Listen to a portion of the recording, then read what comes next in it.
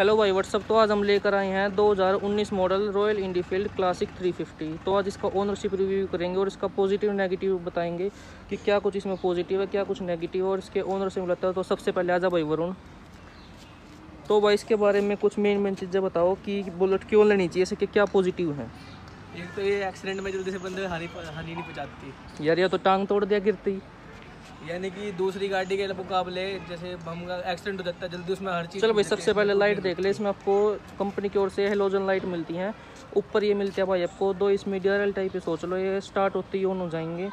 इधर आपको मिलते हैं ऐसे कुछ इंडिकेटर और ये व्हील हैं ये भाई मर्सरीज टाइप लगवाए हुए हैं। ये पड़े थे कुछ सात आठ हज़ार समथिंग के।